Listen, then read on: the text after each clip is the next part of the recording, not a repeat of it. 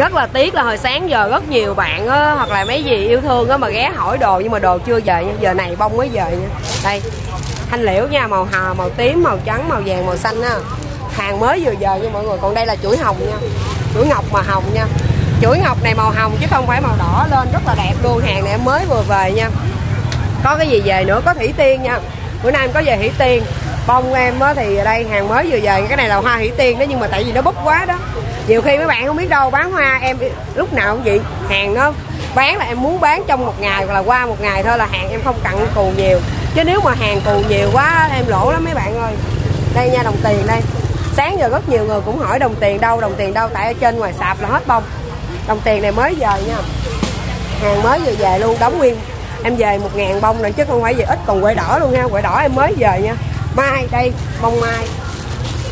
Sáng giờ cũng nhiều người hỏi lắm, nhưng mà nói thiệt với mọi người, mùa này mọi người biết không, bông mai mà nó nở quá đó, thì bông nó màu bạc, nó không đẹp. Còn hàng này là hàng mới về chưa làm gốc.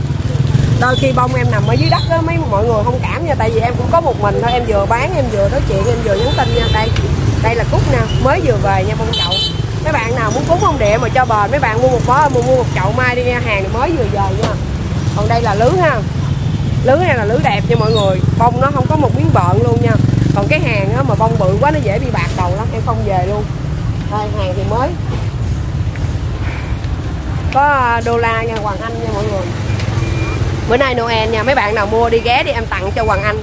Vừa bán vừa tặng luôn. Ha cái này là bao luôn mấy bạn nào ghé thì cứ ghé nha. Còn nếu mà mình có nhu cầu thì có thể alo em. Em chỉ nhận chuyển khoản trước nha mọi người, thông cảm. Tại vì hàng của em em có một mình thôi, nên đôi khi những cái gì mà linh tinh đó em có thể em bỏ bớt. Cái nào mà em nhận chuyển khoản thì em cho đi đơn nha mọi người. Đây, bông em mới về nha. Em giờ này mắc bó bông cúng xe quên nữa. Bông 10k nha. Bữa nay em bó một bó bông 10k nha mọi người. Một bó như thế này trên tay em cầm đó là 10k nha. Đây đây đây, mới về nha mọi người.